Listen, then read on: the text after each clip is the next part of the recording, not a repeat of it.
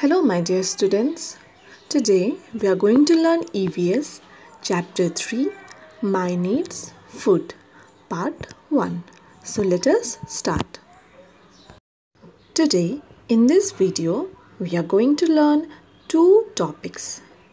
First one is importance of food and second one is names of three types of food. First we are going to learn importance of food.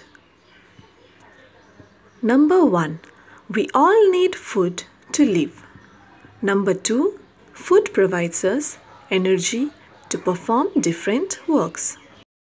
Number 3 food helps us to grow strong. Number 4 eating healthy food protects us from various diseases. Number 5 we eat different types of food such as vegetables, rice, meat, milk, etc. Number 6. Each food item is important and plays a vital role in the development of the body. Now, let us learn about the names of three types of food. There are mainly three types of food.